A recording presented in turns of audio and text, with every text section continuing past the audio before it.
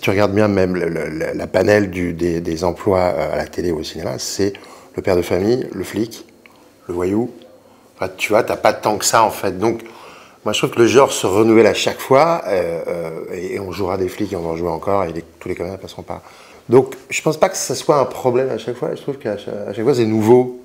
Moi, moi j'ai joué que deux flics, et Candy, c'est un personnage qui est tellement pas flic c'est pas très compliqué de jouer un, flic différent, quoi. Euh, même si euh, il y a toujours dans la fonction du flic les questions vous étiez où, à quelle heure, euh, est-ce qu'on a retrouvé l'arme du crime, on est dans l'informatif aussi beaucoup.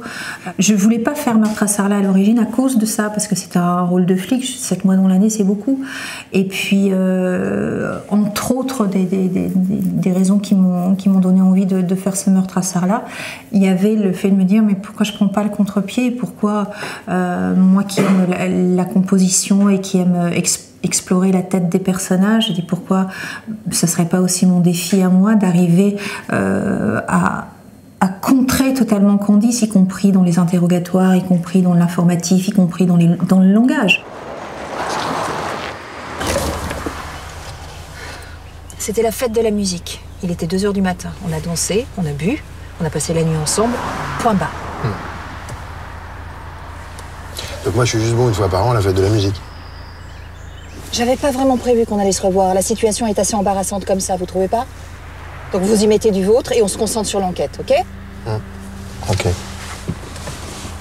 Et tous les deux, et après, ce que j'ai découvert, c'est que tous les deux, on est, des, on, est, on est les mêmes acteurs, on est des instinctifs tous les deux, et on est, on est un peu des bêtes comme ça. Hein. C'est sur le terrain que je décèle ce qui va pas dans l'écriture, ce qui va pas dans, dans la scène, ce qui va pas. Parce qu'on est des, des, des renifleurs tous les deux, quoi. Et on a trop de textes, on dit trop de choses, surtout en télé. On veut expliquer, euh, redire les choses, les machins, les bidules. Et, euh, et il, faut, il faut couper, élaguer. On peut, le, le, spectateur est de moins en moins euh, con, on va dire. Puis c'est surtout quand tu parles, c'est un robinet d'eau tiède. Tu sais, le spectateur entend une musique de mots, etc. Quand tout à coup la télé se tait, alors qu'il y a toujours l'image, il est capté, quoi. Et si le comédien, le comédien qui joue est, concerné, habité, etc., ben ça parle mille fois plus que les trois mots qu'on lui a choisis. Il est là, il est là aussi pour euh, rétablir les, ou, pour, pour, arriver à restituer sa vérité de, de, la scène et du moment. Et il faut qu'on cherche ensemble. Mais voilà, c'est le travail. C'est le travail hein, euh, qu'on qu aime faire, que j'aime faire avec les réalisateurs en, en, général. Moi, je sais pas tout, lui, c'est pas tout. La direction d'acteur, c'est pas euh, seulement diriger un comédien, c'est euh, euh, en trois phrases tout à coup le faire douter de ce qu'il fait et, lui proposer une alternative que ni lui ni le réalisateur n'a pour explorer et, et, et, permettre au comédien de se mettre un peu plus en danger. Un comédien en danger, c'est un comédien qui joue. Un comédien qui est dans ses chaussons, c'est un comédien qui s'installe. Donc il n'y a pas de vie. Le dangereux tagueur de vitrine n'est donc pas le meurtrier Calmez votre joie, capitaine. Parce que le tourneux est sûrement pas le seul agriculteur à avoir été saigné à blanc par Signol. Donc on va continuer sur cette piste.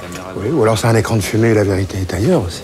Putain, jamais vous décrochez là Moi, je suis arrivée avec, euh, avec mon propre cahier des charges qui qui était aussi d'être très différente de Candice, c'était la première chose. Et après, en fonction du relationnel avec le personnage de Thierry, j'avais, parce que je travaille comme ça, euh, des idées qui sont très très furtives, qui sont des détails, mais moi je suis une fanatique du détail, et c'est souvent le détail qui va donner le relief à la scène. On cherche un couple euh, d'une comédie romantique homme-femme, paf, paf, on se dit tiens, il faut que ça nous fasse un peu rêver, il faut que ça soit drôle, il faut qu'il y ait de la comédie. Et il y a cette enquête qu'on doit tenir un peu quand même, euh, tu vois, d'une main de flic. Tu vois, et c'est meurtre à ça. Où on met, est-ce qu'on met la comédie dans l'enquête Est-ce qu'on la met pas dans l'enquête Est-ce qu'on la met dans le privé est Tu vois, tout ça, c'est des choses qu'il faut définir. Et de temps en temps, c'est vrai qu'on aurait pu mettre un peu plus de comédie dans l'enquête et plus pas de l'enquête dans la comédie, mais enfin, tu vois, un, un peu, euh, voilà. Et, et c'est là où il, où, où il flippe, je pense, tous avec ça, ils se disent, oh là, il y a quand même une enquête, c'est sérieux.